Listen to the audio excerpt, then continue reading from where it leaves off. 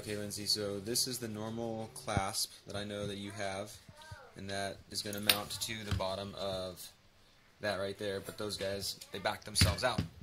So I got two of these black straps. Um, they're safety straps, and basically if you can see, I just kind of looped it into the, the black pull strap on the actual metal clip, looped that in there, and then it's got these guys right here. It's kind of a little mini carabiner.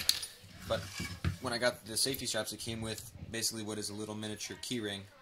So I always pull the little dangly clips out of my uh, my strap mounts on the camera because they were bug bugging me. I ran one of them through there, both on the left side. There's my D4.